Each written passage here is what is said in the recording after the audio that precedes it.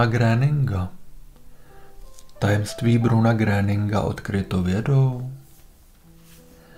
Bruno Gréning byl často označován v novinách jednostranně a se značně ironickým podtónem jako zázračný doktor Gréning. Ale o Gréningově učení se nehovořilo nikdy.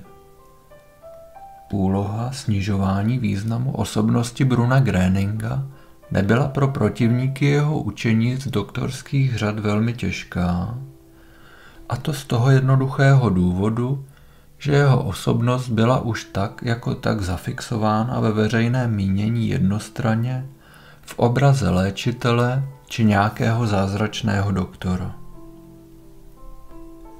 Úspěšná léčení byla přiznávána, byla ale výlučně spjata s onemocněními podmíněnými duševně a zprávy, ze kterých mohlo být zřejmé, že jeho úspěchy jsou očividně větší než ty, které byly dosaženy léčbou doktorů, byly buď to popřeny, anebo odsunuty na vedlejší kolej masové psychózy.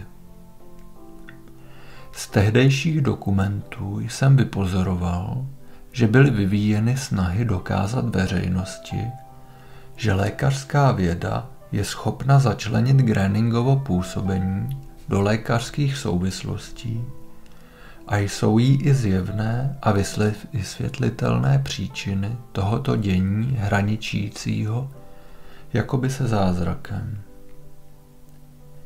Toto zaměření je jasně patrno i z titulní strany časopisu Reví z října roku 49, kde můžeme číst Gréningovo tajemství odkryto vědou.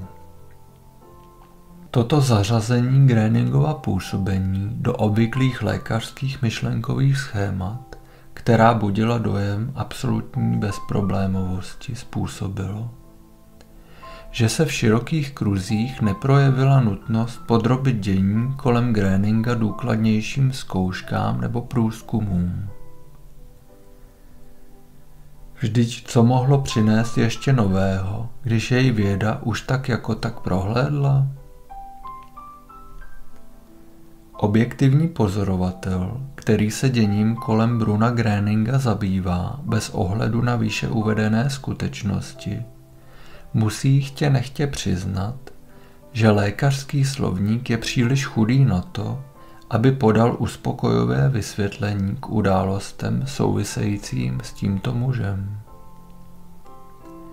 Zprávy o vyléčení, které každou souvislost se sugestivním ovlivněním léčebné osoby spolehlivě vylučují, a mnohonásobná svědecký o nezvyklých duševních schopnostech Bruna Gréninga jsou očividními důkazy, které dokazují existenci síly, která byla vědou doposud tvrdošíně popírána. Při důkladnějším sledování projevů Bruna Gréninga vystupuje na denní světlo rozpoznání takových příčin zdraví a nemoci, které bychom marně hledali v naučených lékařských knihách. Poznáním, které je tak nekompromisně a srozumitelně představováno a přesto budí pohoršení, jsou tedy vědomně uváděny v pochybnost podstatné složky celospolečenského světového názoru. Výpovědi Bruna Gréninga mají tak ucelený charakter, který nese očividně známky učení, takže považuji za smysluplné vyjadřovat se v dalších kapitolách této knihy o jeho působení jako o učení Bruna Gréninga. Bruno Gréning Existence Boha je holá skutečnost. Následující popis učení Bruna Gréninga vznikl na základě původních pramenů z osobních projevů Bruna Gréninga, písemností z jeho doby a informací, které jsem získal při osobních rozhovorech se svědky všech událostí. Snažil jsem se přijít k duchu jeho výpovědí tak blízko, jak jen to bylo možno. Většina lidí věří, že jejich hlavním znakem je jejich viditelné tělo. Bruno Gröning viděl naproti tomu v lidském těle jen nástroj, který je schopen působit v oblasti materiální. Byl přesvědčen o tom, že člověk je ve skutečnosti duch, který má duši a ta může žít na zemi jen ve spojení s materiálním tělem. Nekompromisně zde poukazoval na vyšší duchovní existence. Duchovní roviny lidského pozemského bytí nebyly pro něj teorií, byly pro něj živou skutečností.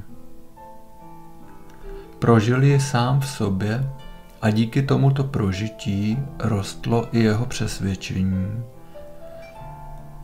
a jeho vědomosti o hlubokých souvislostech mezi zdravím a nemocemi byly jasné. Tato vědí, tato věda není nová, tak vždy zdůrazňoval. Je to jen část pravědy, ke které v dnešní době ztratila většina lidí přístup. Nevím mnoho, řekl jednou v jednom ze svých proslovů ve společnosti. Nevím o nic víc než druzí. Vím ale jedno, a to je to, co dnes už lidé neví. Právě proto vidím svou povinnost každého jednotlivého člověka poučit, ke komu patří, co je za stvoření a jak má přijímat sílu stvořitelovu aby se s její pomocí stal pánem svého těla. Existence Boha byla pro Bruna Gréninga skutečností. Z tohoto vnitřního vědomí rostlo vědomí existence všemohoucí moci, na kterou již mnoho lidí nebylo schopno věřit. Cítím se zavázán podat lidstvu vysvětlení. A kdyby jeden z vás chtěl tvrdit, že Pán Bůh neexistuje, nechám se rozčtvrtit. Nikdy se od své víry neodvrátím. V jeho případě nezůstávalo jen u zbožných slov. Chtěl vést lidstvo k tomu, aby samo znovu zažilo, že tento odcizený Bůh může pomoci a chce také pomoci jestliže mu v tom člověk sám nebrání. Z tohoto důvodu viděl prvotní úlohu svého působení v tom, aby umožnil všem pomoc hledajícím přístup k této rozsáhlé léčivé síle, síle tvůrčí, síle, kterou nazýval léčivým proudem. Přijímání stvořitelovy síly ve většině případů hovoříval ještě před projevy Bruna Gréninga k pomoc hledajícím osobám jeho spolupracovník, který je svými pokyny připravoval k přijímání léčivé síly.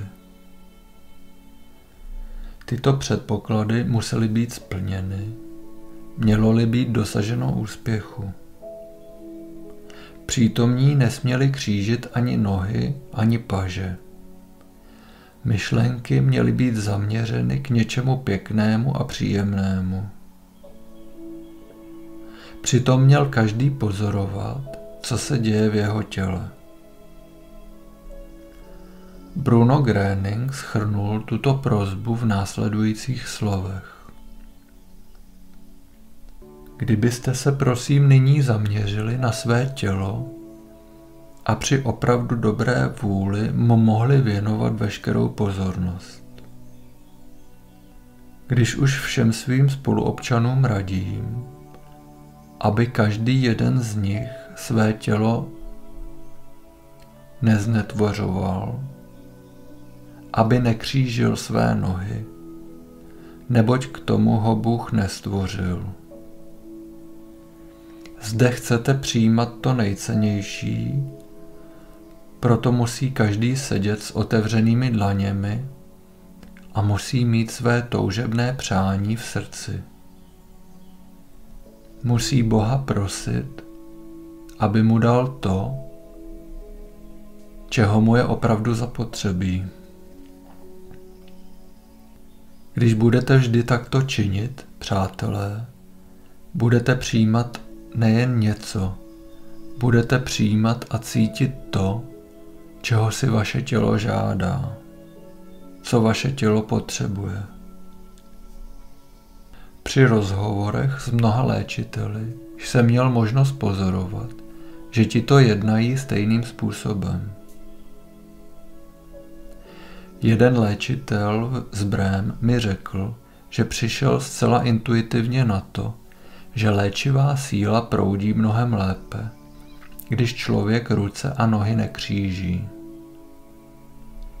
Jedna léčitelka mi líčila, že nemůže pracovat, když jsou končetiny přeloženy přes sebe. Má vždy pocit, jako by se v ní něco hromadilo a nemohlo to dále. Bruno Gröning popsal tyto situace jednoduchými slovy. Léčivou sílu Boha označil jako léčivý proud. Je zajímavé, že většina osob, které přijímali podle pokynů Bruna Gröninga léčivou sílu, ji popisují jako pocit brnění a velmi příjemného tepla, které proudí celým jejich tělem. Pro lepší pochopení nabádal Bruno Gröning své posluchače k tomu, aby si své paže a nohy představili jako elektrické vedení. V technickém přirovnání vede dotek dvou neizolovaných elektrických vedení ke zkratu. Podobná situace nastává v těle. Překřížené končetiny způsobují nahromadění energie, která nemá možnost proudit dále. Tímto způsobem se člověk z léčivého působení těchto sil vymyká. Tento jev je člověk dokonce schopen vnímat, je-li dostatečně citlivý. Některé osoby, kterých jsem se na jejich pocity vyptával, mi v této souvislosti popsali velice nepříjemný pocit, který se u nich dostavil a působil jako nějaký tlak či zácpa. Většina lidí není schopna vnímat tyto pochody v těle. Téměř všude lze pozorovat, například při různých veřejných akcích, že více než 90% lidí kříží své ruce a nohy. Někteří dokáží přeložit své končetiny dokonce i dvakrát. Toto držení těla je považováno za normální a dokonce za pohodlné. Člověk dokonce ani tímto špatným držením těla nepostrádá ztracenou energii, protože mu tato není vůbec známa. Poněvadž však tento stav nemá nepřetržité trvání, bývá dosahováno určitého vyrovnání a poruchy se dostaví teprve až po delší době. Léčivý proud, sugestce či léčebná síla? Faktor X v působení Bruna Gröninga. Vraťme se zpět k učení Bruna Gröninga. Otevřené držení těla je tedy nutné k tomu, aby mohla být přijímána tvořivá síla. Vedle těla musí být plně otevřena i mysl, přičemž člověk upustí od negativních myšlenek, především myšlenek na nemoc a starosti a připouští si jen myšlenky pozitivní, kdy myslí na něco pěkného a příjemného a pozoruje, co se děje s jeho tělem. Bruno Gröning nazval toto otevřené držení těla a vnitřní dění zaměření nebo naladění. I zde použil k lepšímu porozumění srovnání v oblasti techniky. Skrze toto zaměření či naladění se člověk vědomě otevře léčebné síle, tvořivé síle, neklade žádné překážky této léčebné vlně, kterou mu Bůh vysílá. Bruno Gröning srovnává lidské tělo s rádiem. Rádio potřebuje také určitě na určité naladění, aby mohlo přijímat požadované vysílání. Člověk přijímá léčivé vlny, léčivou sílu, jsou-li k tomu splněny všechny předpoklady. Většinou se dostavují tyto výše popsané pocity již poměrně brzo.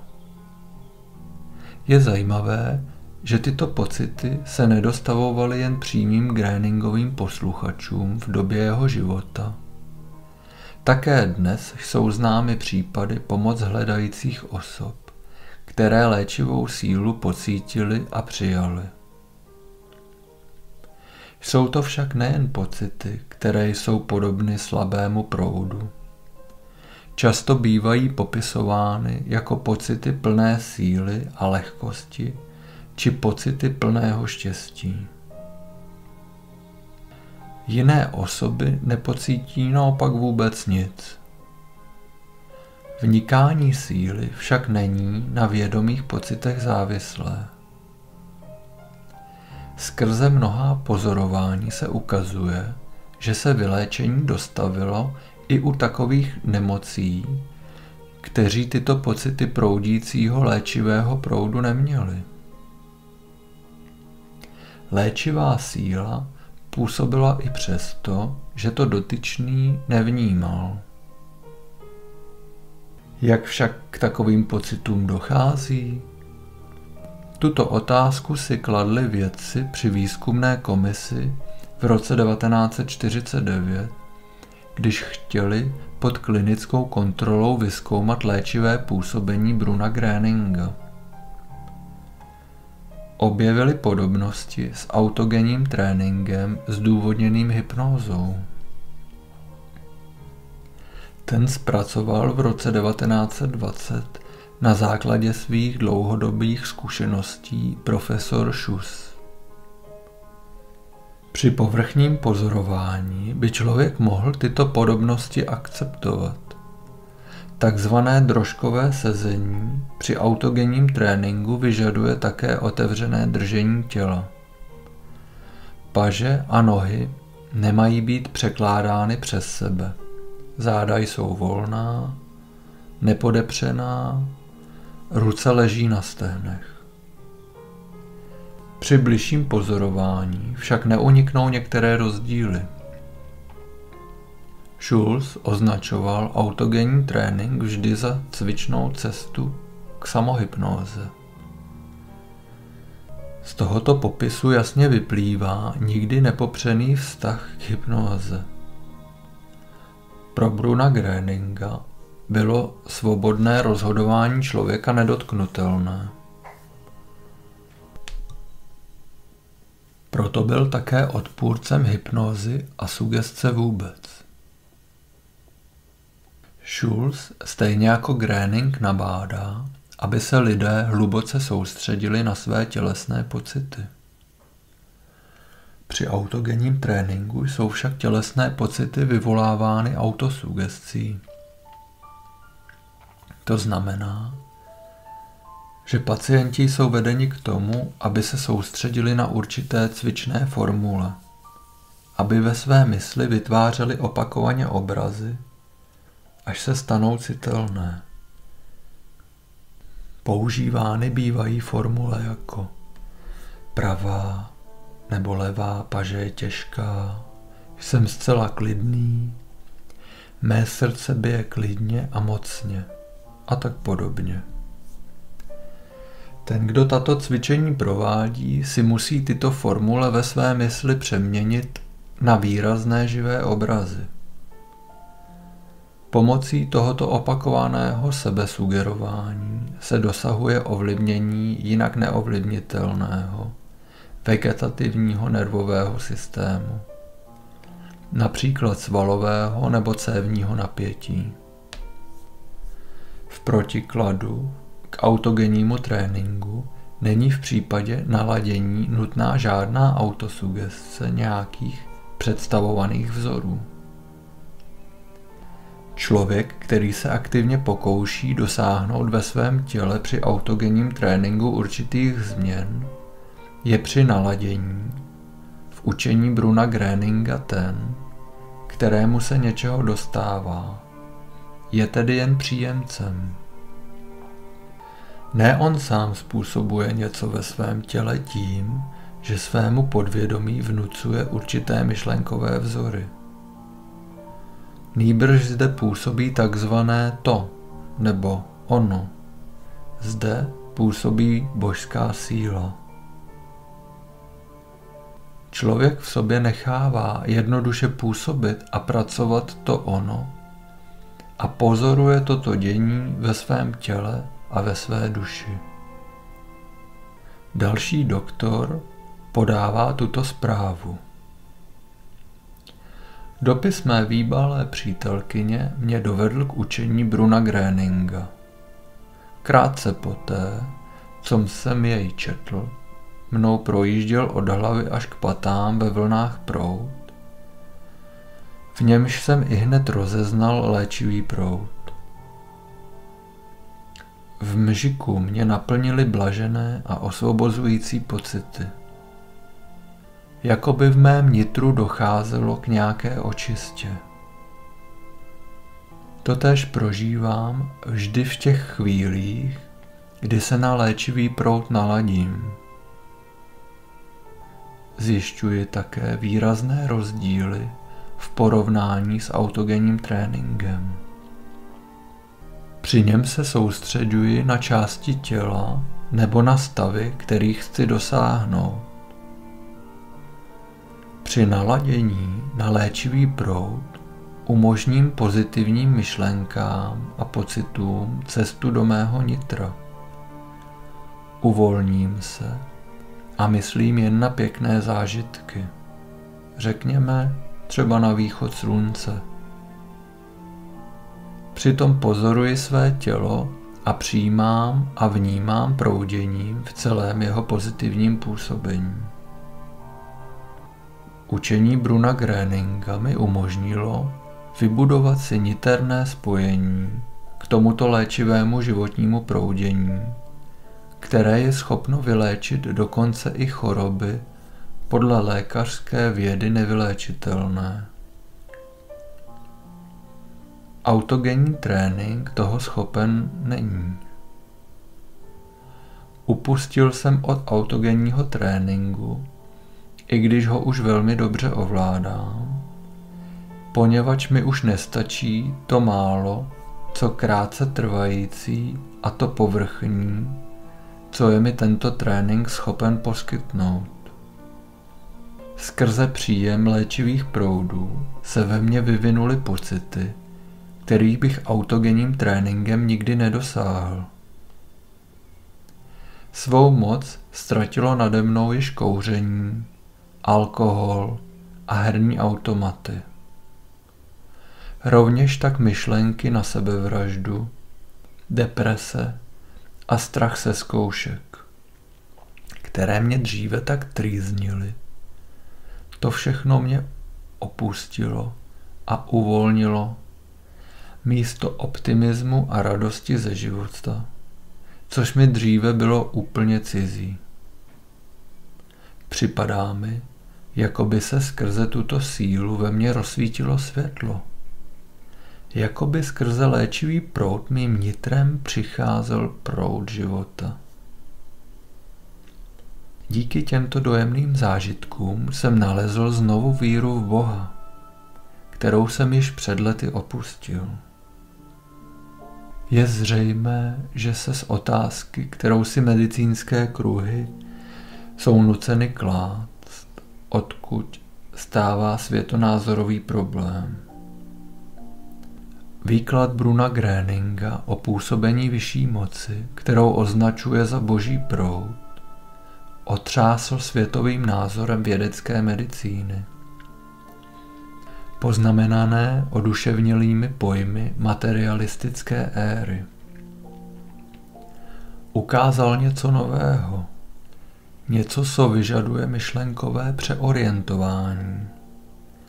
Z historie jsou nám známy příklady, které svědčí o tom, že prosazení něčeho nového, co odparovalo soudobému světovému názoru, nemělo téměř nárok na úspěch.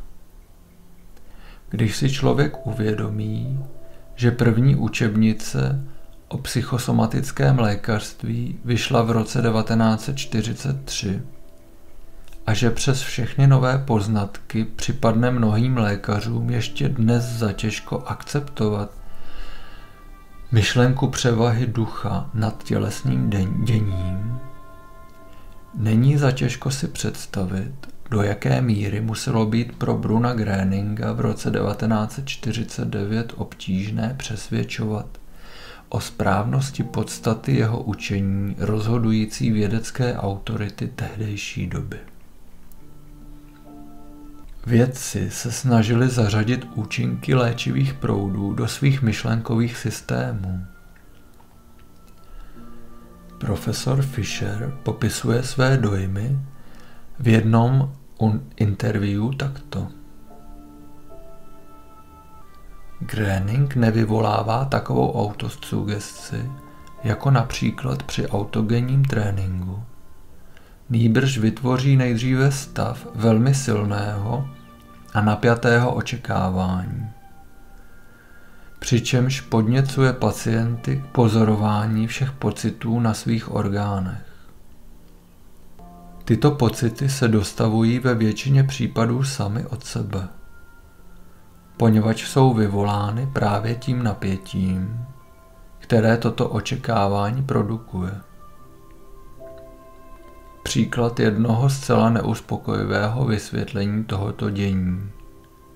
Potíže, s jakými byly vyvíjeny snahy vtěsnat působení Bruna Gréninga do běžných formulací, jsou v dalších projevech ještě výraznější.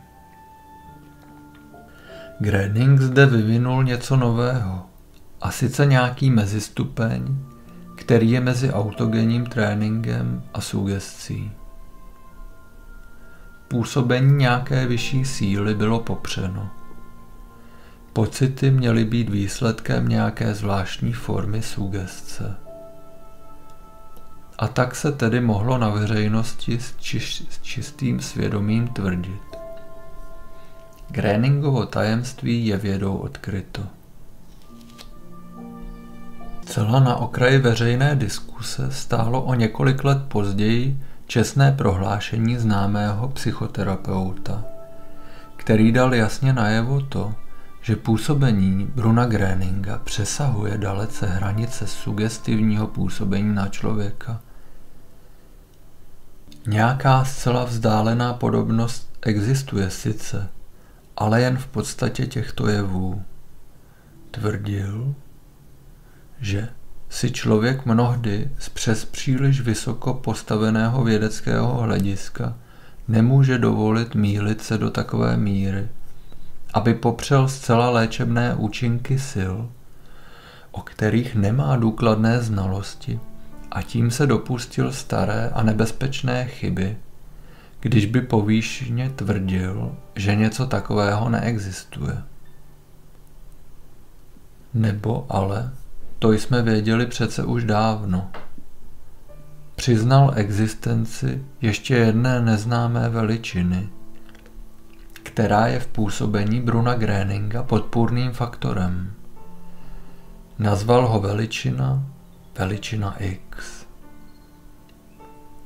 Bruno Gréning hovořil se vší otevřeností na veřejnosti o této neznámé veličině – která byla vědou z větší části popírána. Vždy, když byl dotazován, jak se dá dění kolem něj vysvětlit, říkal. Ne já léčím, Nýbrž to vede v člověku skrze mé učení o víře k jeho uzdravení. A mě neděkujte, děkujte Bohu. V jednom projevu popsal své působení takto. Jsem připraven předat vám sílu, která mi byla dána ne od lidí, nýbrž skutečně od samotného Boha, abych mohl lidem pomáhat, abych je mohl léčit. Neříkejte prosím ale nikdy, že jsem vás vyléčil já. Ne. Víra v Boha spojená s Pánem, to je ta vlna, kterou jste přijali, která jde přes mé tělo nebo skrze něj. Jsem jen malý zprostředkovatel, nic víc, maličký transformátor. Můžete ode mě tento prout mít a záleží jen na vás samotných, jak ho v sobě necháte působit. Tato slova svědčí o osobní pokoře a o hlubokém poznání vyšších zákonů. Toto, to ono, léčivá síla Boha. To bylo to nové a zároveň prastaré z jeho učení. Toto, to, předávat vědomě lidem, byla jeho úloha. V tom viděl své poslání. Nezávisle na Brunu Gréningovi nacházejí i dnes mnozí léčitelé stejná nebo podobná slova, kterými vysvětlují své léčitelské působení. Duchovní léčitelé dnes o tom, že ona sama nikdy neléčila, to je možno jen Ježíši Kristu. Ona byla jedině jakýmsi kanálem, kterým božské síly proudily. Stejně jako Bruno Gröning odmítá i ona slovo zázrak, jako označení pro tuto sílu. Tak psala Anita Hernerová. Léčitelka ze Švýcarska Anita Starková podává tuto zprávu. Cítím to sama, jak mnou něco prochází. Pociťuji to, jako bych seděla na mraveništi. Někdy pociťuji chlad, někdy teplo. Ještě jedna léčitelka, Erika B. ze Švýcarska zdůrazňuje, že tato síla nepřichází od ní. Mnozí pomoc hledající míní, že tuto sílu vnímají jako nějaké světlo. Pocitují proudění energie, které je zasahuje jako světelné paprsky.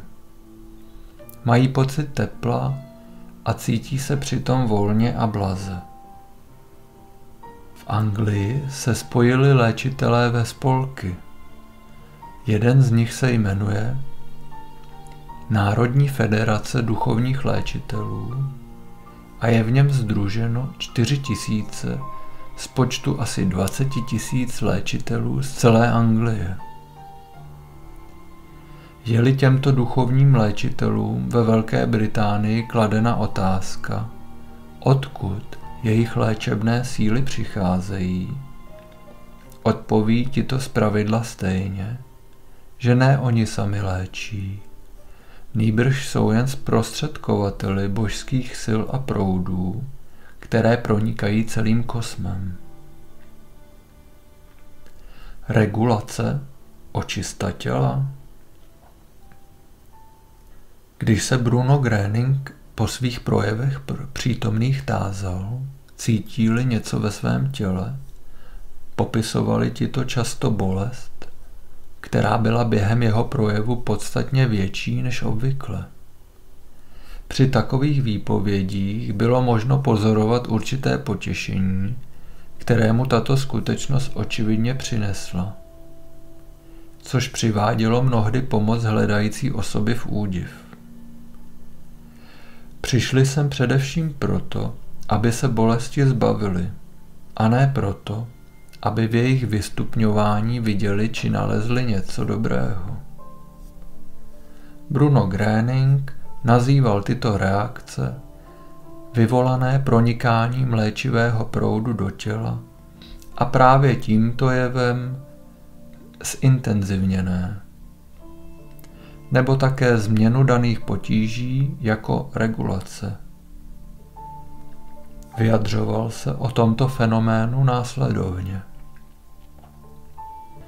Regulační bolest je velmi nutná. Jednotlivci dostanou často strach, když se tyto regulační bolesti dostaví, že se nemoc zhoršuje. Někteří se toho dokázali hned chytit a říkali, na místo uzdravení si od něho lidé odnášejí nemoci.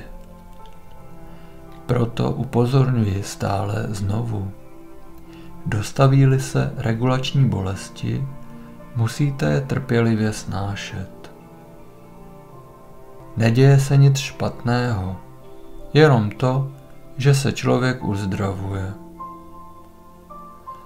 Bruno Gröning viděl v regulačních bolestech očistný proces, reakci, která se dostaví tehdy, když léčivý proud zasáhne místa v těle a v duši, která byla postižena poruchou, to znamená nemocí.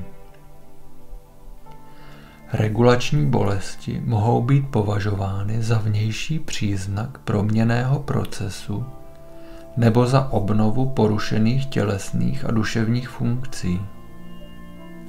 Často se projevují jako bolesti nebo také tím, že se již existující příznaky nemoci stávají výraznějšími, někdy zase slabšími, jindy jsou pocitovány ve změněné formě.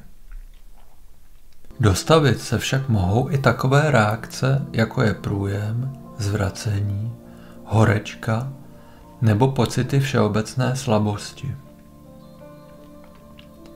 Nastanou-li regulace, je to vždy dobré znamení, neboť se stává zřejmým, že pacient na léčivou sílu reaguje a v jeho těle právě začíná probíhat očista.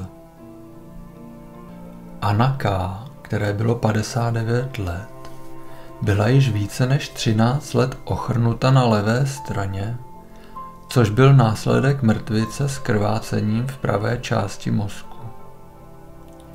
Když ve svém těle přijala léčivý proud, pocítila brnění a přitom se dostavily bolesti v pravé části hlavy. K pochopení tohoto jevu je třeba mít znalost v anatomii člověka a vědět, jak pracuje mozek. Dojde-li k ochrnutí levé části těla, jsou porušeny mozkové buňky pravé mozkové hemisféry. Neboť nervové dráhy se v mozkovém kmenu kříží a vycházejí na opačnou stranu. Takže svaly levé poloviny těla jsou zaopatřovány mozkovými buňkami pravé mozkové hemisféry. S úžasnou precizností tedy nastaly i regulační bolesti přesně v té části hlavy, kde došlo před 13 lety na základě mrtvice ke zničení mozkových buněk. Každému čtenáři musí být jasné, dočetl se až k tomuto místu, že není v žádném případě na místě tvrdit, že působení léčivé síly je jen následkem nějakého klamu, iluze či sugestce.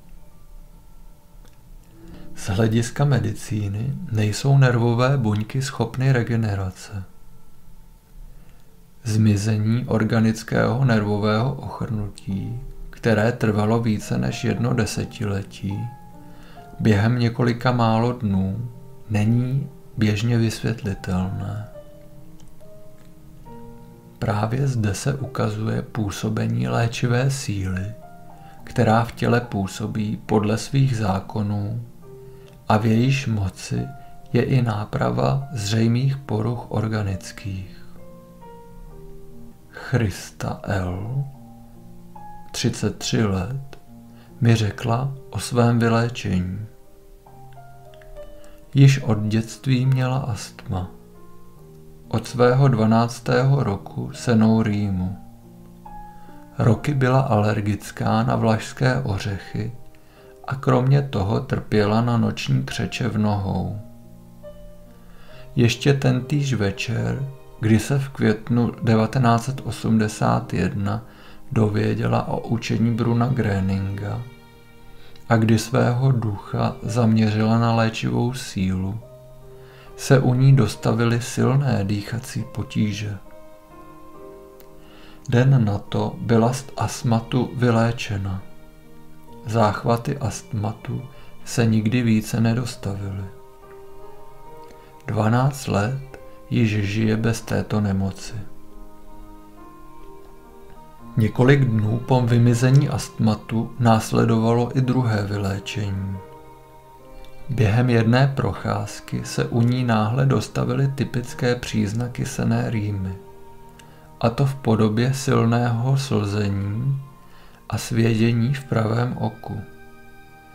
Něco takového dosud ještě nezažila. Vždy bývaly postiženy obě oči a teklo jí silně z nosu. Pevně věřila, že se jedná o regulace, které jí pomohou zbavit se těchto dlouholetých potíží. Silné svědění a slzení pravého oka bylo jen vnějším znamením tohoto očistného procesu.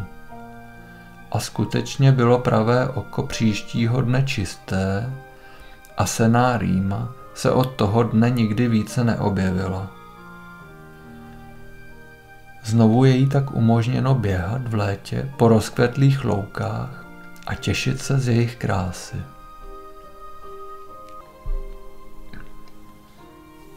Třetí vyléčení z alergie na vlašské ořechy následovalo teprve na podzim roku 1981.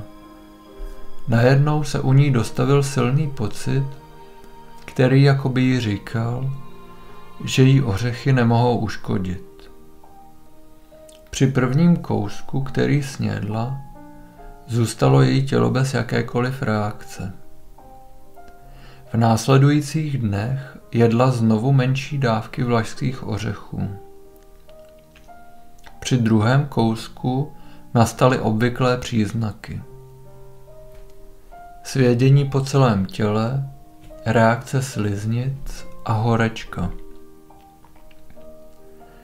Paní L byla ale opět vnitřně přesvědčena, že se jedná o regulace, že tyto projevy patří k očiště jejího těla. Sama o tom říká. Při čtvrtém soustu nastaly tak silné regulace, že jsem měla pocit, že moje hlava roste do závratných velikostí. Měla jsem rovněž pocit obrovské horkosti, kdy mi však zároveň bylo chladno. Protože jsem byla pevně přesvědčena, že se zde jedná o mou poslední očistu, nepoužila jsem žádnou mast. Tento stav trval toho večera několik hodin. Příštího rána nebylo po všem ani památky. Od té doby jsem plně osvobozena i od těchto potíží a mohu jíst bezstarostně všechno. Ani dnes, po 12 letech, není po těchto onemocněních nikde ani stopy. Noční křeče zmizely v červenci 81. V tomto čase se u ní dostavily silné křeče a to během dne – při jednom sezení ve společenství hned poté, co se naladila na příjem léčivé síly. Tyto křeče trvaly s přestávkami až do večera.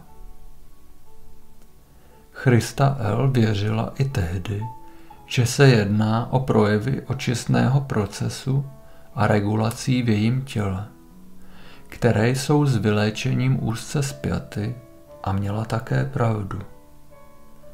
Od toho okamžiku se u ní křeče nikdy více nedostavily.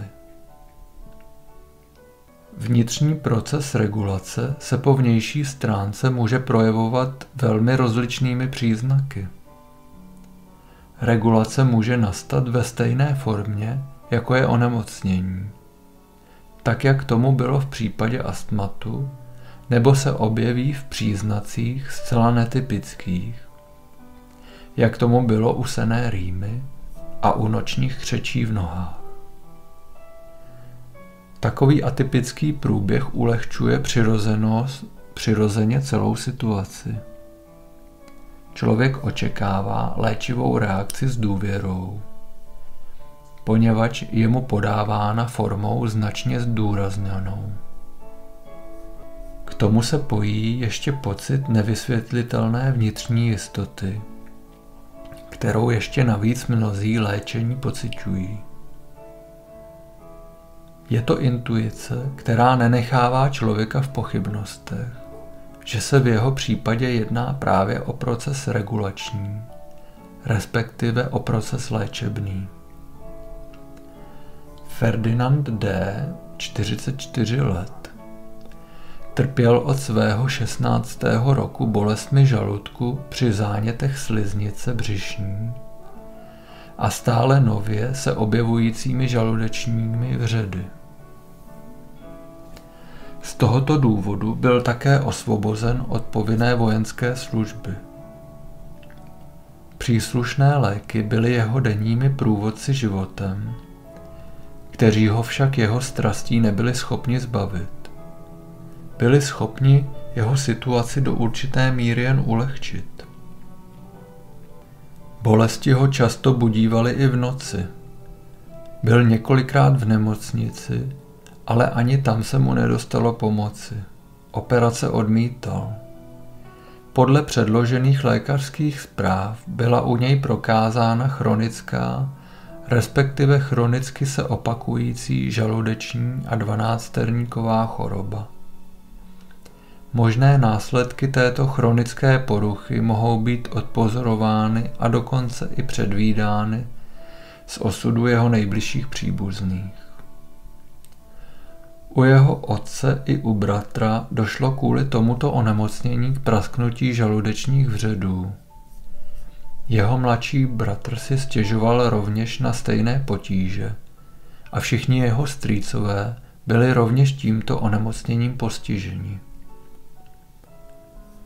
Jednomu ze strýců byla z tohoto důvodu odoperována dokonce větší část žaludku.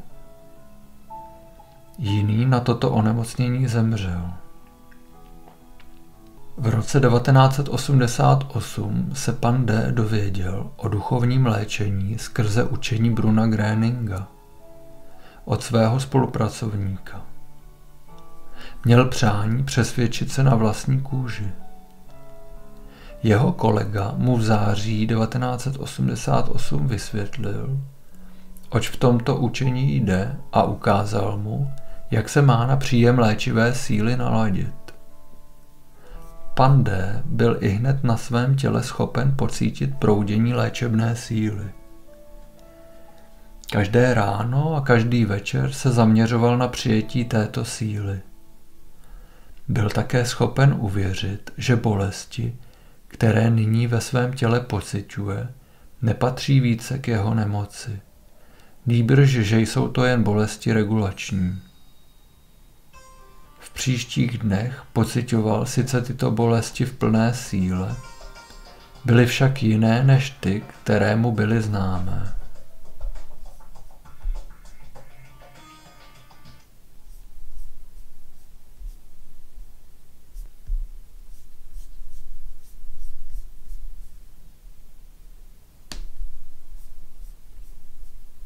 Byly sice mnohem silnější, netrvaly však nepřetržitě a přicházely v určitých odstupech.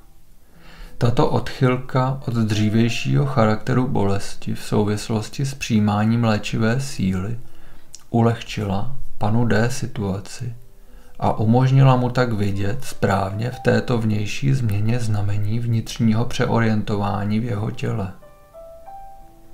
Znamení léčení jeho nemoci. Od 10.10. 10. až do 15.10. 10.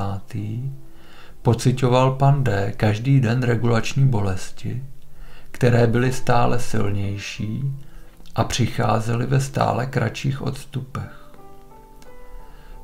Popisuje, jak došlo k vyléčení. Sobotní ráno toho týdne bylo pro mě zvlášť těžké. Musel jsem vstávat už ve tři hodiny ráno, protože mi už ve čtyři začínala služba. Regulační bolesti jsem pocitoval jako mimořádně silné. Nejraději bych se byl nahlásil nemocným, ale kde a u koho v tuto tak časnou hodinu? Zbalil jsem si do tašky knihu. Zde je pravda o Brunu Gréningovi a o něm. A vydal se na cestu do práce. Hned po příchodu jsem se pustil do čtení. Moje práce mi totiž dovolovala číst.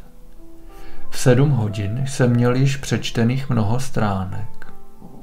Četl jsem dále i přes silné bolesti. Pojednou jsem ve svém těle pocítil neobvyklou slabost, která se však rychle přeměnila v sílu. Začal jsem vnímat brnění, které přicházelo mým tělem od hlavy až k patám. Toto brnění jsem vnímal jako zvláštní, obdivuhodný a nádherný pocit. Když brnění ustalo, byly proč i bolesti. Bylo to, jako kdybych stál celou tu dobu pod sprchou a voda ze mě všechnu bolest spláchla a odnesla. Trvalo to ještě nějakou dobu, než jsem si vůbec uvědomil, co se se mnou vlastně stalo, co jsem právě prožil. Od této chvíle nezůstalo po mých bolestech ani památky.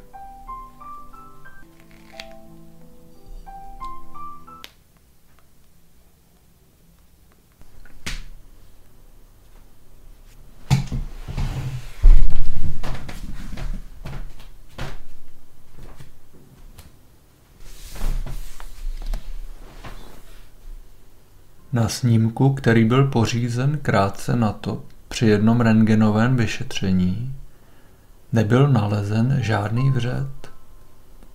Po desítkách let jsem byl osvobozen od svých bolestí a tento stav zůstal do dnešních dnů nezměněn. Jsem nyní zdravý a šťastný člověk. Děkuji Brunu Gréningovi a všem těm, kteří mi pomohli věřit v Boha a v jeho božskou sílu. Paracelsus, proslulý lékař, věděl zřejmě také o fenoménu očisty a regulace těla bolestmi, a to již na počátku 16. století. V jeho písemnostech můžeme číst následující. Kdo se chce uzdravit, musí myslet na to, že to bez bolesti nejde. A stejně jako získáváme v potu tváře svou obživu, tak je to i zde. V potu a bolestech budeme od nemoci oproštěni. Také z homeopatie je znám pojem první zhoršení. Po začátečním podání léku bývá často pozorováno, že stádiu zlepšování se zdravotního stavu předchází stádium, které nese symptomy zhoršení. Jiný léčitel ze Švýcarska vidí v léčení aktivizaci sil, které vyvolávají v těle nejprve obranou reakci či zdání této choroby léčebné krize nazývá porodními bolestmi zdraví. Tyto jsou mi muždy potvrzením, že nemocnému člověku může být pomoženo.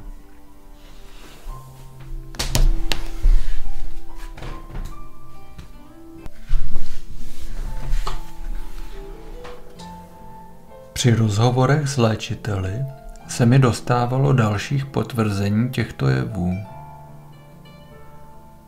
Léčitel H mi sdělil své postřehy, ve kterých se bolesti v prvním stádiu zhoršily asi o 80% všech jeho pacientů. Toto zdánlivé zhoršení přetrvávalo pak často nějakou dobu, aby potom jedním rázem zmizelo. Pro Eriku P., léčitelku, je počáteční zhoršení stavu u lidí, na které působila pomocí léčivé síly přirozené. Je znakem toho, že pacient na tyto síly reaguje. Počáteční zhoršení nejsou ale k léčení nezbytně nutná. Vyléčení nastávají mnohdy bez nich. Rudolf Tétr sděluje ve své knize Magnetismus, prastarý léčivý prostředek, své zkušenosti, které získal jako léčitel. Mnohdy se mu zdá být těžké vysvětlovat pacientům, kteří u něho hledají pomoc, že je před jejich uzdravením nutné překonat období krize. Říká, ani tak důrazné upozorňování na možné krize nebývá mnohdy dostatečně účinné. Když se pak člověku donese často k jeho sluchu hned při jejím nástupu, před zahájením léčení jsem nebyl docela zdrav. Nyní jsem však opravdu nemocný. Takové krize se dostavují často velmi bouřlivě. Mohou sebou přinášet horečky, průjem až silnou běhavku, zvýšené nutkání k močení, závratě a únavu, silné pocení, těžkou nevolnost, nervózní podrážděnost, přechodnou nespavost, zesílenou nebo zeslabenou menstruaci. Především jsou to ale syndromy nemoci samy, které náhle vykazují mnohonásobné zhoršení a není proto divu, že nemocný ztratí důvěru v takové léčebné postupy, které jeho stav očividně zhoršují. Tétr je však obhájcem tvrzení, že tyto krize jsou přirozeným předchůdcem uzdravení. Jsou neškodné a k vyléčení nezbytně nutné. Tyto krize jsou projevem moudrosti plného působení božského podvědomí.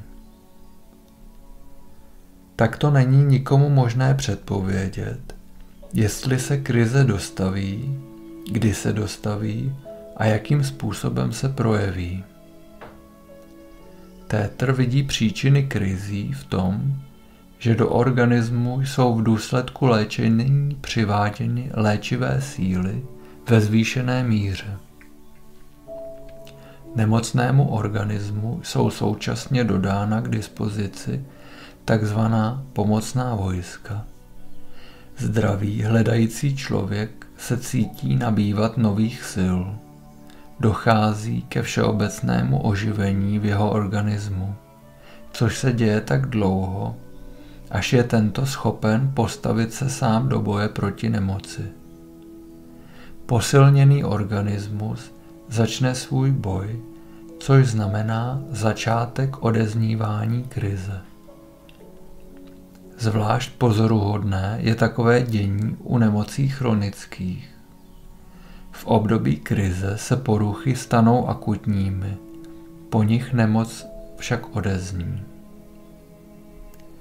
Nezmizí-li nemoc po prodělané krizi dokonale a zůstane v těle nadále, byť i v oslabené formě, je nutno přivolat pomocí přívodu nových léčebných sil krizi další.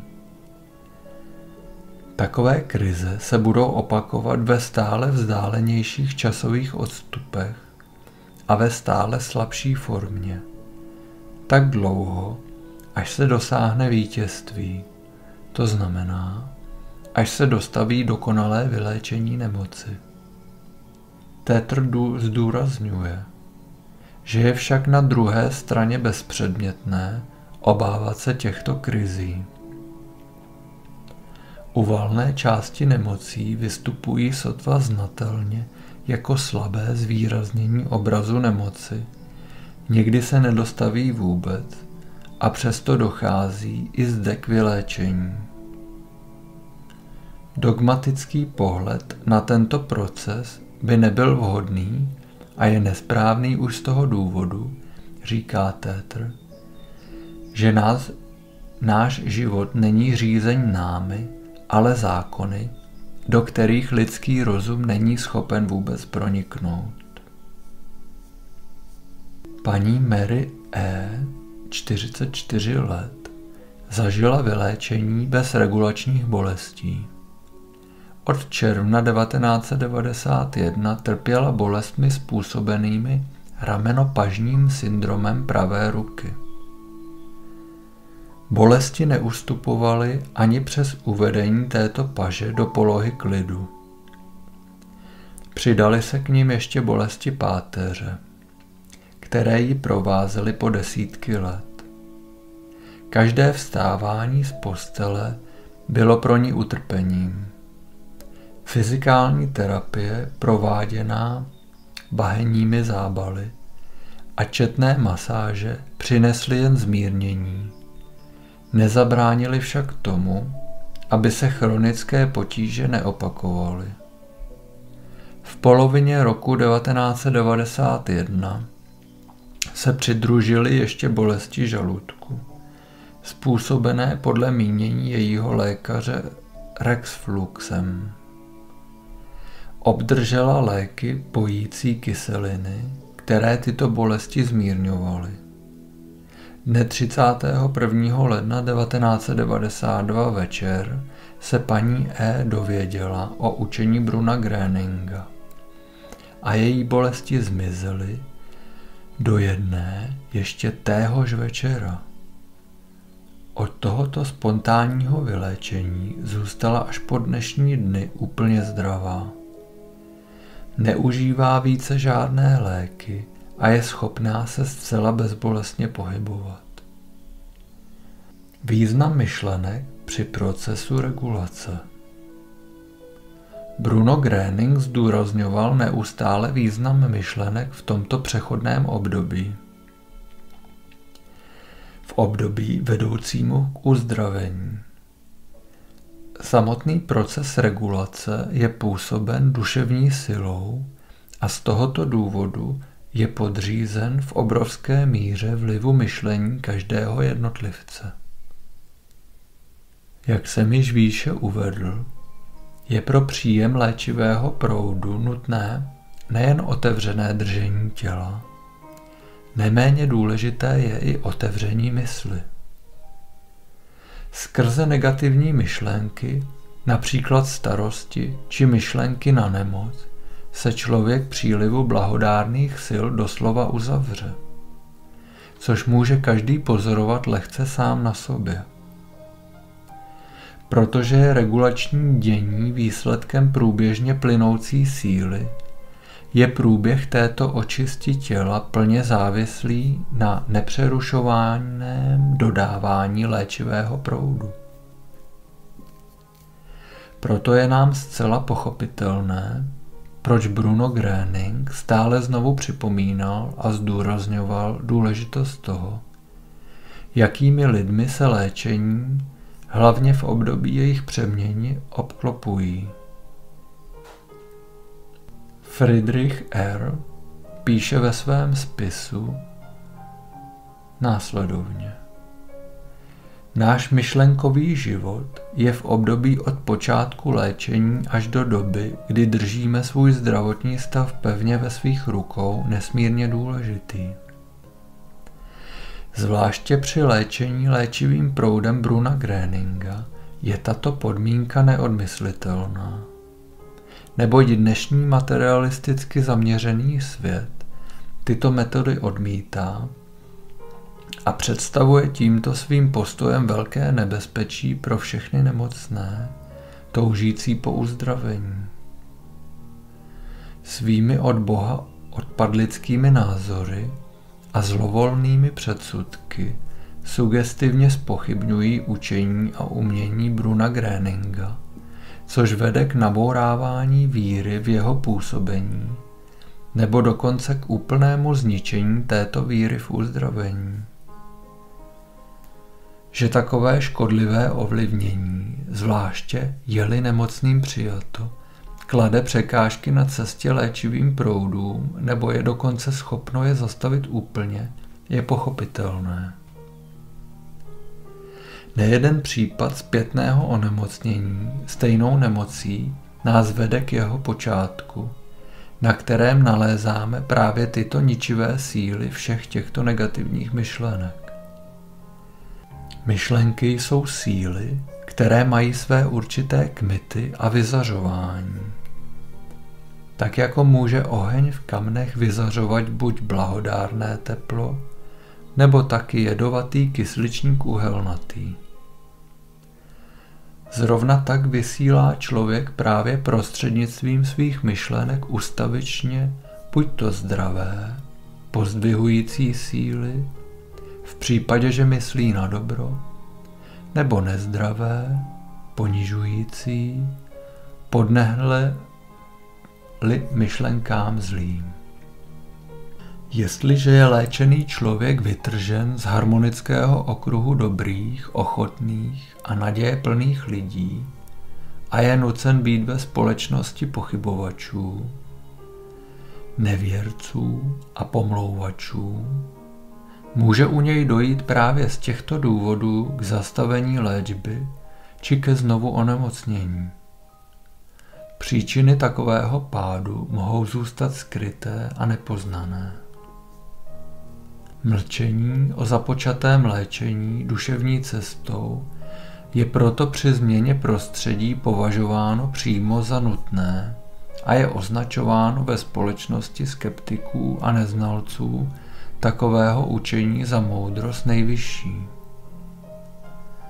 Mluvit o tomto dění je možno a je to i moudré, teprve ale poté, kdy je období přechodu k plnému zdraví překonáno a nový zdravotní stav stojí na pevných základech.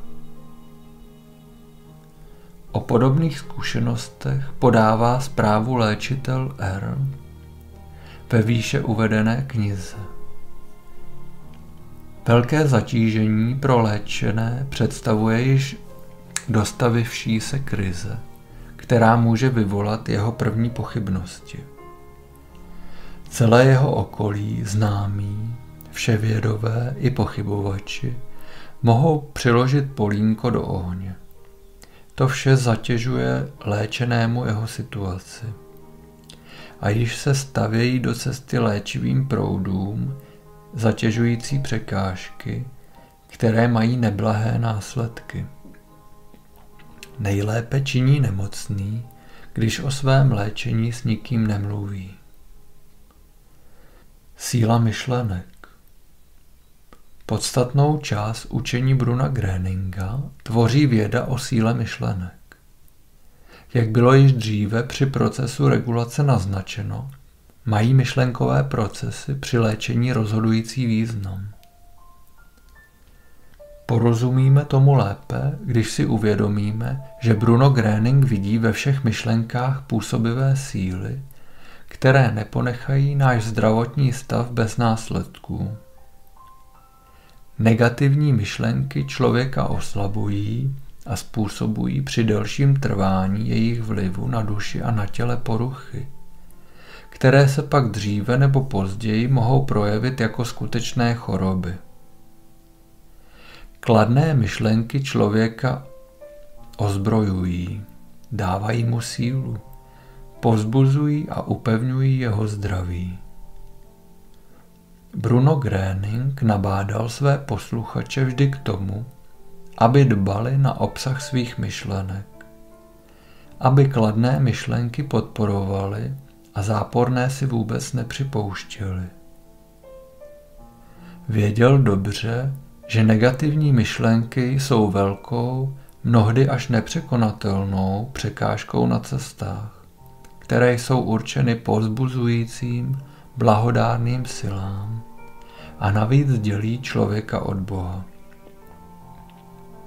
V jednom projevu je jeho varování obzvláště patrné. Mějte se na pozoru před jakoukoliv zápornou myšlenkou. Odvraťte se od ní a řekněte si pro mě, za mě, třeba sami k sobě. Nechci mít s touto zlou myšlenkou nic společného. Chci jen myšlenky dobré. Pak odvraťte pozornost od tohoto zla a pohleďte z okna. Zahleďte se tam, kde je to dobré. To skutečně božské.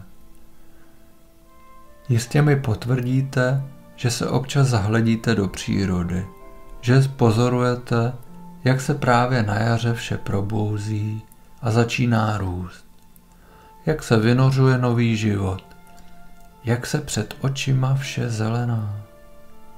A když tak celou přírodu bedlivě sledujete, začnete pocitovat a vnímat, že vás zlé myšlenky opouštějí. Už jenom toto pouhé pozorování přírody vás spojilo s Bohem. Bruno Gröning si byl vědom toho, že většina lidí se zabývá spíše ze zvyku negativními myšlenkami, aniž by si uvědomili, jak si tím sami škodí.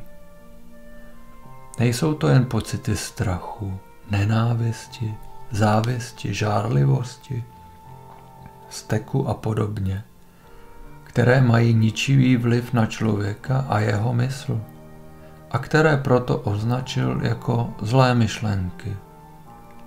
Jsou to myšlenky negativní, které lidstvo obírají o radost, pohodu, klid a mír. Do lidských myslí se vtírá jed starostí a smutku, sebepochybností a nespokojenosti. Také myšlenky ješitnosti a egoismu a jakékoliv myšlenky na nějakou špatnost, ať už se týkají vlastního života či života jiných, působí rušivě a ničivě na naši mysl. Podle Bruna Gréninga spočívala základní povinnost každého, kdo chtěl svou nemoc vymítit z kořenů, v odvrácení se od takových zhoumných myšlenek a přiklonění se k myšlenkám dobrým a tvořivým. Zrovna tak je také neustálá myšlenka na nemoc velikou překážkou v jejím léčení. Bruno Gröning to ukázal na jednoduchém příkladu. Vezměte mísu, která je naplněna jednočím, třeba ovocem, které po několik dní stálo a nikdo si ho nevšímal. Nikdo ho nepřebíral, až se skazilo. Takové ovoce nemůže nikdo jíst. A teď přijde někdo a chce vám nabídnout ovoce čerstvé, zdravé. Byl by to velký nerozum položit čerstvé ovoce na to skažené, poněvadž by se velmi brzy skazilo i to čerstvé. Jestliže chcete mít zdravé ovoce, musíte to skažené nejdříve vyhodit. Ale to samotné by nestačilo. Musíte důkladně vymít i mísu, která nese stopy skaženého ovoce. Teprve potom je schopna přijmout toto zdravé ovoce. Srovnejte si tu mísu s vaším tělem a ovoce s vašimi nemocnými orgány. Zdraví je to, co si tak snažně přejete. Je to ale nemožné, jestliže nejste schopni to skažené odhodit. To znamená v tomto případě, když nejste schopni přestat zabývat se svými nemocemi. Každá negativní myšlenka, každá myšlenka na nemoc brání v člověku přílivu léčivých sil. Myšlenka na zlo v jeho těle je jako mlha, do které je zahalen a která nepropustí do jeho nitra světlo božské síly. která by mu přinesla posilnění a očistu. Jestliže chce člověk přijmout dobro, musí se vnitřně vyprázdnit, musí se v myšlenkách dobrovolně od všech těchto negativních představ oprostit. Očista těla od negativních energií se uskuteční skrze příliv dobrých, kladných sil, které pak člověk přijímá ve velké míře v léčivém proudění. Bohužel ale myslí příliš mnoho lidí na své nemoci nepřetržitě a považují to dokonce za normální a správné. Myšlenky krouží neustále kolem každého jednotlivého slova lékaře. Bedlivě je pozorována každá změna ve zdravotním stavu a každému novému pocitu je věnována mimořádná pozornost. Rostou i obavy ze zhoršování nemoci. Mnozí lidé jsou myšlenkami na svou nemoc naplněni až do takové míry, že nejsou schopni zavést řeč na jiná témata. Aniž by to tušili, spojují se tak často přes své myšlenky právě s tím, co jim působí bolest a čeho by se nejraději zbavili a vnucují svému podvědomí obraz bídy a utrpení ze zhoršující se nemoci a sami tak k tomuto zhoršení přispívají.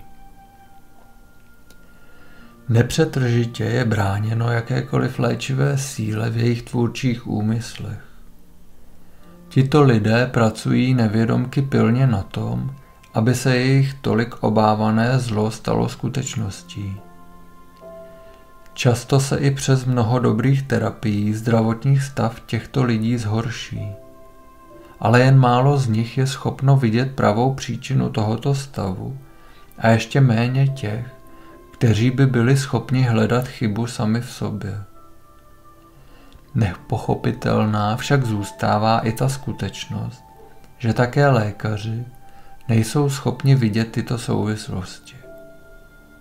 Tímto způsobem je člověk zbavován odpovědnosti za myšlenky s následky pro něj tak nebezpečnými. Částečně se však začala i věda zabývat touto důležitou tématikou. Po psychosomatice se začalo vyvíjet i medicíně nové obětví, které se zabývá zkoumáním vlivu myšlenek a pocitů člověka na jeho imunitní systém. Bylo zjištěno, že negativní myšlenky mají na něho velmi škodlivý vliv. Ale přece není toto zjištění nic nového. Již Paracelsus, který žil v roce 1494 až 1541, velký lékař začínajícího novověku, hovořil o vnitřním lékaři v člověku – který stojí připraven na pomoc jako vnitřní léčitel, přinášející, udržující a obnovující jeho ztracené zdraví. Působí v lidském podvědomí a je myšlenkami lehce ovladatelný. Negativní myšlenky působí zábrany. Pozitivní myšlenky posilují naopak činnost spořádaných tvořivých sil v lidském organismu. Diana C., známá léčitelka, která spolupracovala s nejproslulejším léčitelem Anglie Harrym E., upozorňuje své pacienty stále znovu a znovu na moc jejich myšlenek, ať už v pozitivním či negativním smyslu. Je dokonce přesvědčena o tom, že každá nemoc je v podstatě způsobena sebou samým, a to skrze destruktivní myšlenky, které uvedou tělo do disharmonie a nerovnováhy. Pro dosažení úspěšné léčby se musí každý jednotlivec snažit a v prvé řadě o to, aby změnil své myšlenkové pochody aby přeměnil negativní v pozitivní. Francouzský lékařní, lékárník Emil C. rozpoznal, že všechny léky, které byly provázeny poznámkami jako To je vynikající lék. S tím se vám velice brzy ulehčí. Doktor vám nemohl nic lepšího předepsat a tak podobně. Přinášely velmi rychle a spolehlivě kladné účinky. Z těchto svých poznatků vyvinul metody uvědomělé autosugestce.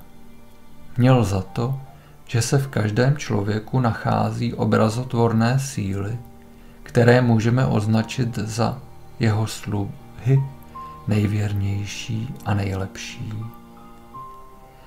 Jiní, kteří došli ke stejným závěrům, hovořili o tajuplných pomocnících v našich nitrech nebo o vnitřních lékařích, kteří jsou ve svých činnostech pevně spjati s našimi myšlenkovými pochody. Poukázal také na nebezpečí negativních myšlenek, které působení vnitřních sil ochabují. Zpracoval pro své pacienty takzvanou pozitivní autosugestci. Slovní formulace, které si má člověk stále znovu a znovu opakovat a také v duchu obrazně představovat. Jedna z nejznámějších je tato. Cítím se den ode dne lépe. Mluví i o zákonu myšlenkového uskutečňování. Každá myšlenka, která nás naplňuje, se snaží veškerou svou silou o své uskutečnění. Samozřejmě, pokud se drží v hranicích přírodních zákonů. Rakouský lékař převzal tuto metodu a píše k tomu ve své knize. Nemáme ani ponětí o tom, jaké množství mocné síly v člověku držíme. Síly, které jsou schopny toho nejnemožnějšího. Když je jen člověk pomocí své neomylné víry probudí a uvede do správných kolejí pak se ukáží jejich možnosti. V životě jednotlivce může hrát jeho silné vnitřní cítění až osudovou roli a může dokonce určit i jeho další vývoj. Tato role je mnohem důležitější než vše, co si jenom povrchně přejeme, nebo co se domníváme, že si přejeme. Nedostane se nám toho, co si přejeme. Stane se to, na co věříme. Doktor Rauch varuje důrazně před tím, aby se s ostatními lidmi o nemocech mluvilo a negativní myšlení a mluvení vidí jako smrtelný prohřešek proti vnitřnímu lékaři. Jakákoliv produkce projevů plných utrpení posiluje jen moc negativního nad námi a stěžuje tak naše oproštění se ze spáru bolesti a utrpení. Dále píše, dokonce průběh nejtěžších nemocí, jako je rakovina, může být závislý zcela podstatně na myšlenkovém sebeovlivňování se nemocného.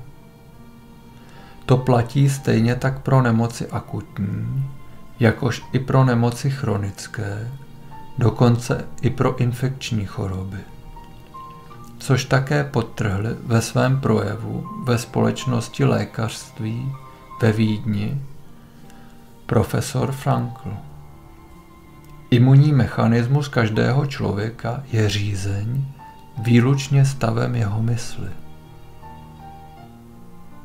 Dokonce i utrpení na míle vzdálené všemu duchovnímu jako jsou například následky nehod a zranění či zlomeniny kostí, o čemž také píše známý profesor jedné knihy, jsou při svém hojení plně závislá na vnitřním naladění a tím i na myšlenkovém sebepůsobení zraněného. Americký lékař Simonton Přijal rovněž do své lékařské práce poznatky o moci myšlenek. Jeho zkušenost vedly k vývoji metody, která připomíná léčitelskou cestu starou tisíce let. Takové byly doporučovány léčiteli a šamany, kterou ovšem doktor Simonton ze starých pramenů neznal. Podstatná pro jeho práci je technika vizualizace, zvané též imaginace, která spočívá v tvoření silných živých obrazových představ mysli, zaměřených žádoucím směrem, například na dobrý zdravotní stav. Školí své pacienty v tom, aby si vedle svých obvyklých protirakovinných terapií navykli tvořit si v mysli živé obrazy, představující je jako zcela zdravé osoby. Dokázal, že pacienti, kteří se jeho terapii podrobili, žili v průměru jednou tak dlouho než jiní pacienti, léčení v nejlepších lékařských centrech, ale obvyklými terapeutickými formami. Srovnání se týkala vždy pacientů se stejnými chorobopisnými normami.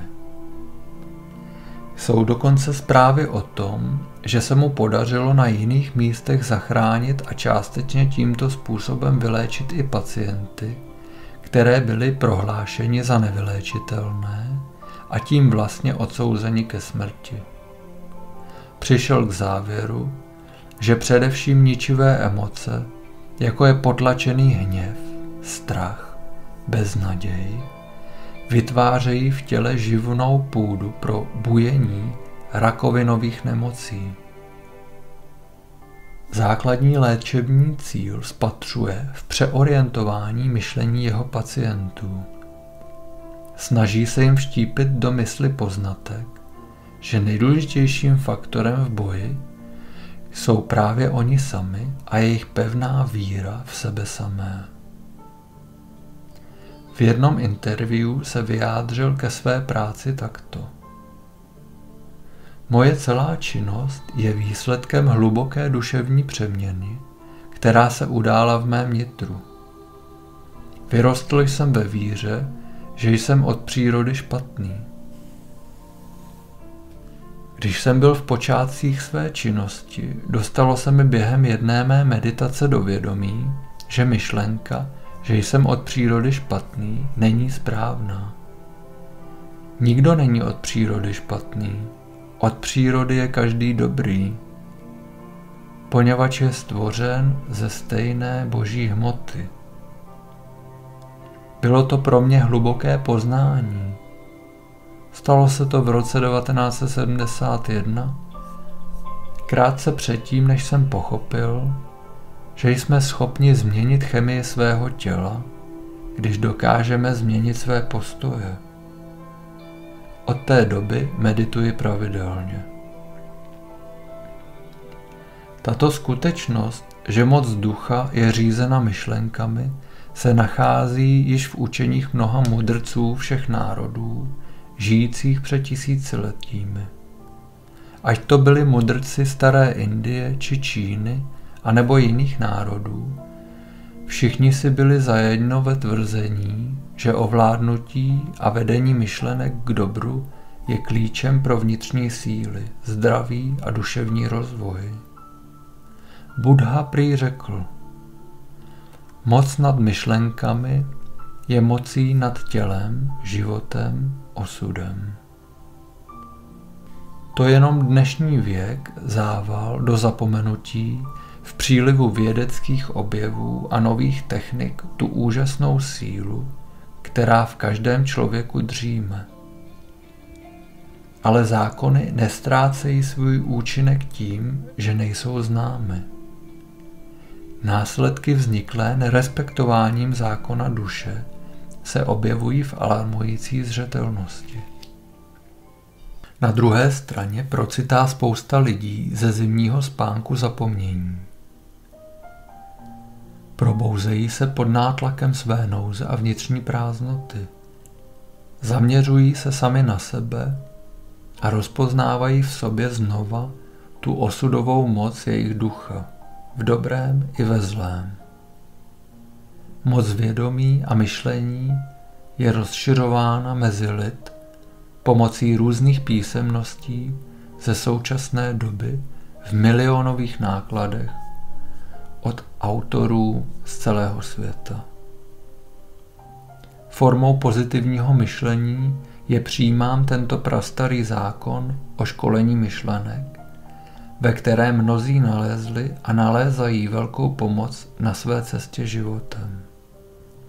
Stálé mluvení o nemocech to je velké nebezpečí pro léčení. To, co platí pro myšlenky, platí ještě víc pro vyřčená slova. Bruno Gröning se zabývá tímto problémem v jednom svém projevu. Milí přátelé, nevěřím, že jste sem dnes přišli jen proto, aby zde, abyste zde vyjmenovali všechny své starosti a strasti. Jistě byste si rádi postěžovali, zanaříkali, nechali se ze svých skleslých úst plynout sklíčená slova, abyste tím dosáhli politování od svých nejbližších a nejen snad od nich. Obrovská lítost by měla být zbuzena u každýho, s kým přicházíte do styku. Vím, tak jste si na to zvykli. Mluvit o tom, co vás tlačí, co vás bolí, jakého zla jste si museli dočkat na svém vlastním těle. Ale jen o tom, co jste schopni vidět, slyšet, chutnat, čichat nebo hmatat. Mnohé se vám stalo zlem a trápením, ale nikdy jste nepřišli na myšlenku, že vinu na všem nesete jen vy sami. Vinu na tom, že je vaše tělo tímto zlem napadeno. Je až obdivuhodné, jak mnoho lidí zneuznalo moc vyřčeného slova. Vždyť jestliže se v samotné myšlence skrývá tolik síly, jakou sílu pak musí mít slovo vyřčené? O tom věděl již Šalomón.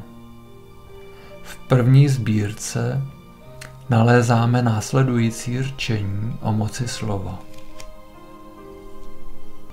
Kdo si dává pozor na ústa, chrání svůj život.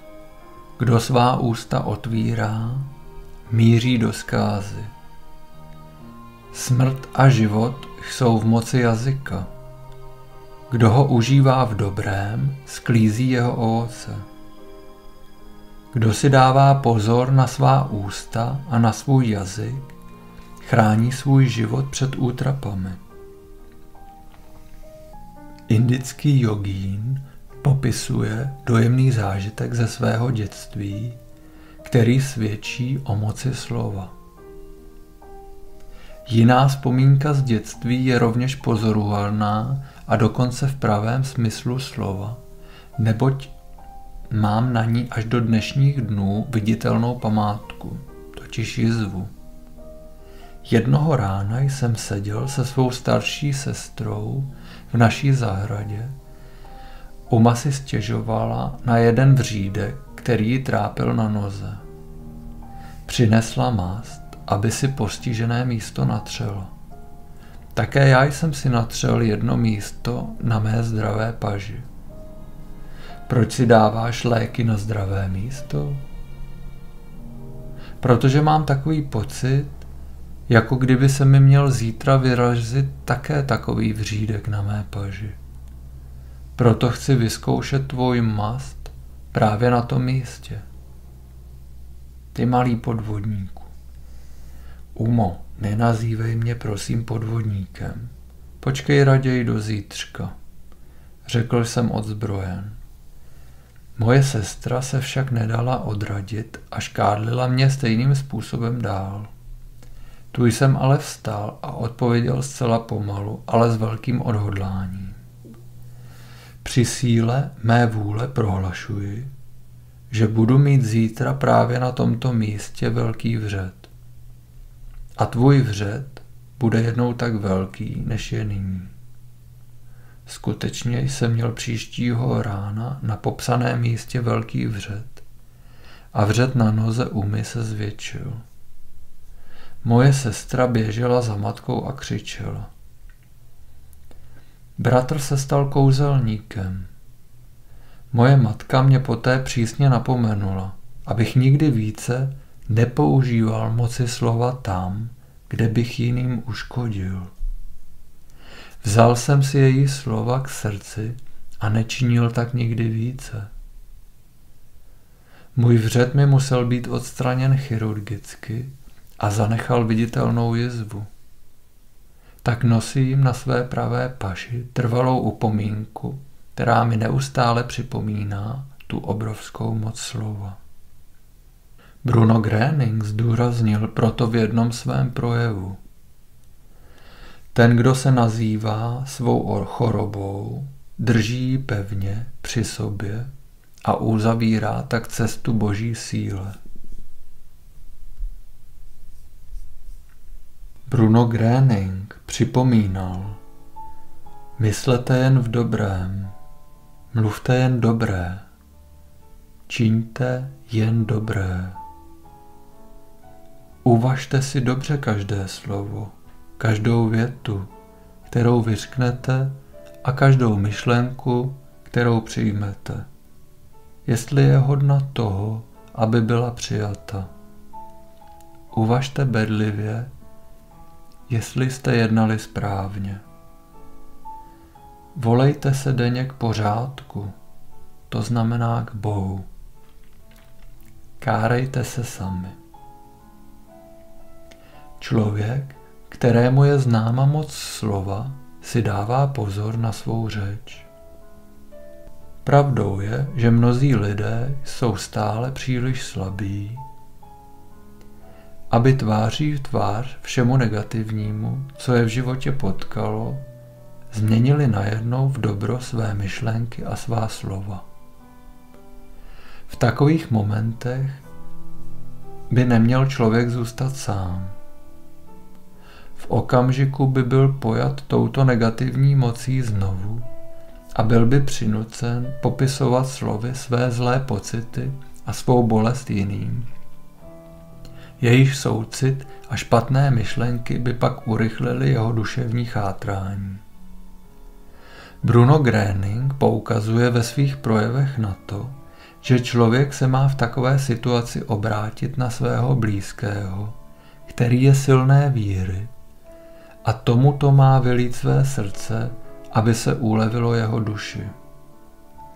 Potom s ním má společně přijmout božskou léčivou sílu, rozloučit se se vším negativním a věnovat svou důvěru Bohu. Tento blízký člověk má stát tak dlouho se svými radami a činy po jeho boku, až se věci uvedou do pořádku a nemocný věří pevně ve své schopnosti. Jen tak se může stát lehčej z člověka, který zažil tolik negativního, takový člověk, který je v myšlenkách spojen s dobrem a dokáže si toto spojení také udržet. Je však potřeba vždy dbát na to, aby se vylévání srdce neopakovalo, aby se to stalo jen jednou, Víckrát nesmí být starosti a bolesti formovány myšlenkami a slovy, jestliže člověk očekává pomoc z vyšších míst. Zásadně to platí pro každého z nás, aby se měl na pozoru mluvit o tom, co si nepřeje, aby se uskutečnilo. Soucit místo soustrasti. Význačným podmětem mnoha lidí, kteří své osobní strasti těm ostatním pohnutě vyprávějí, je zbuzení jejich soucitu s nimi. Bruno Gröning tomu poznamenává. Na tomto místě bych mohl uvést dostatečné množství důkazů o tom, že nemohu pomoci člověku, že ho nemohu přivést na dobrou cestu, to znamená na zdravou cestu, když jeho okolí nebylo nezávadné, nebo když už mu přešla do krve vlastnost nechat se od druhých jen litovat. Proto tedy neklaďte otázku, co mohu léčit. Ptejte se raději, koho mohu léčit. Chci pomohu, pomoci lidem k vyléčení tím, že jim ukážu tu dobrou cestu. jaká jiná by taky mohla božská cesta být. Bruno Gröning ukazuje na rozdíl mezi soucitem a soustrastí. Jak už toto slovo samo říká, znamená soustrast to, že člověk má s tím druhým stejnou strast a přijímá rovněž s jeho strasti plnými slovy jeho trápení do svého nitra. Zabývá se tím myšlenkově tak dlouho, až je stejně postižen jako ten nemocný. Člověk přijal to negativní od svého protějšku a připustil tak, že i v jeho nitru může působit oslavující síla.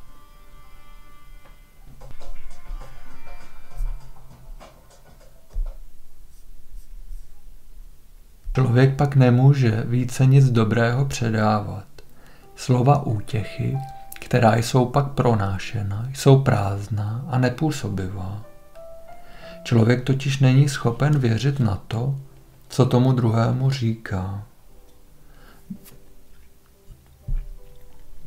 Bruno Gröning upozorňoval ve svých přednáškách na tyto souvislosti stále znovu a znovu. Varoval své posluchače před tím, aby do sebe přijímali takový soucit, chtějí druhému pomoci. Vždyť člověk je schopen dát tomu druhému jenom to, co sám v sobě má, ne to, co nemá. Nemůže dodat svému bližnímu odvahy a útěchy, jestliže on sám otevřel srdce jeho malomyslným a nářkuplným slovům. Bruno Gröning radí svým posluchačům mít na místo soustrasti se svými bližními soucit.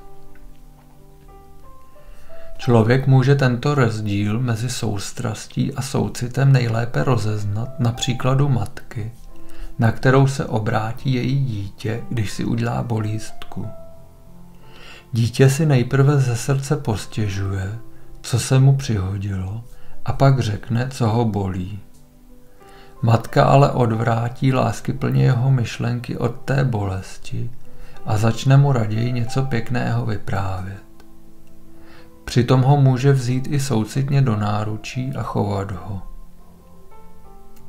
Matka řekne ke svému dítěti, to bude zase všechno dobrý, musíš na to věřit, ale teď se dívej, vzpomínáš si ještě, co jsme včera hezkého dělali? Dítě otevře své srdce slovům matky a přijme je. Jeho myšlenky jsou teď od zlého odvráceny, nasměrovány na dobro, na příjemné věci. Tímto jeho i jeho nitro ve spojení s tím dobrým a posilujícím. Oživující síly kladných myšlenek ukáží brzy svůj účinek. Matka si ponechá svou sílu poněvadž se bolestí svého dítěte dále nezabývá. Nýbrž svým jednáním spojuje ducha svého dítěte s tvořivými pozitivními silami. Tento příklad činí rozdíl mezi soucitem a soustrastí velmi dobře viditelný. Kdo chce pomoci nejen sobě, ale i těm druhým, musí své myšlenky, svá slova ale i myšlenky a slova svého bližního orientovat nejen na dobro. Nesmí nikdy lpět na utrpení a nemocech. Nemít soustrast neznamená tedy, že je člověku osud toho druhého lhostejný. Znamená naopak to, že člověk v sobě nastřádal tolik lásky a soucitu, že je schopen ujmout se ho posilovat jeho chuť k životu a důvěru v něj, jinými slovy, pomoci mu spojit se znovu s dobrem, to jest spojit se s Bohem. Bruno Gröning a jeho učení.